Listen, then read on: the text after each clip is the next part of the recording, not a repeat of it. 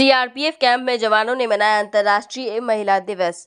बता दें कि सीआरपीएफ ग्रुप केंद्र मुकामा घाट में अंतर्राष्ट्रीय महिला दिवस के अवसर पर आए हुए शहीदों की वीरांगनाओं, परिवार के सदस्य, महिलाओं एवं बच्चों को रविंद्र भगत, पुलिस उप महानिरीक्षक एवं नीरू भगत अध्यक्षा, regional CRPF, family welfare association के द्वारा हार्दिक स्वागत किया गया एवं कुल पचास शहीदों की वीरांगनाओं, उनके परिवार के सदस्यों को इंडक्शन चूल्हा, मिक्सर ग्राइंडर एवं बुके देकर सम्मानित किया गया।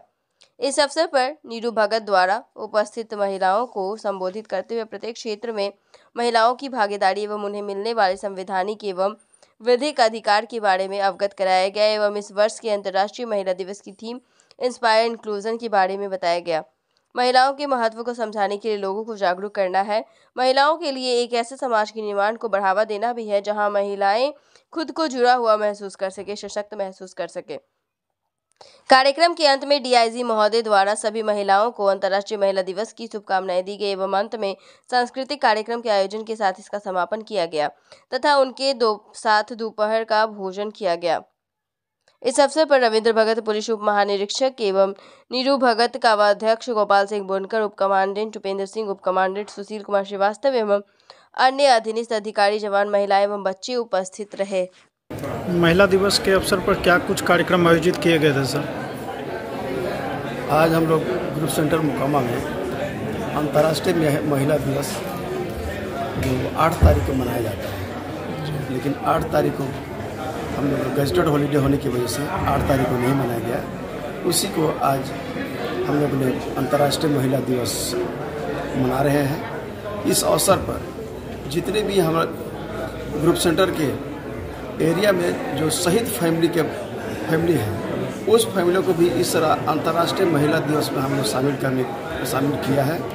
उसमें शहीद परिवार की जो भी दुख, दर्द है, चाहे जो भी पेंशन से संबंधित से लेकर के जो उनकी समस्या है, उस समस्या को भी हम लोग बखूबी सुने और सुनने के बाद उसको दूर करने का हम लोग का भरचक प्रयास रहेगा इस अवसर पर हमारे केंद्रीय रिज़र्व पुलिस बल महानिदेशालय कल्याण द्वारा द्वारा हर शहीद परिवार को इंडक्शन चूल्हा और मिक्सर ग्राइंडर उसको दिया गया हालाँकि ये एक छोटी सी भेंट है फिर भी उनके साथ हम लोग का एक मिलने जुलने और उनके दुख तकलीफ़ को जानने के लिए एक माध्यम था।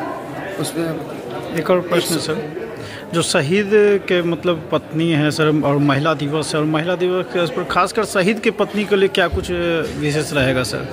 क्या कुछ कोशिश की तो शहीद के शहीद के जो फैमिली है उसके लिए हम लोग अपने तरफ़ से एक भेंट स्वरूप उनको सम्मानित करते हुए इंडक्शन चूल्हा और मिक्सर ग्राइंडर दिया जा रहा है जो कि उसको घरेलू कामकाजों में घरेलू में इस्तेमाल इस्तेमाल हो सके।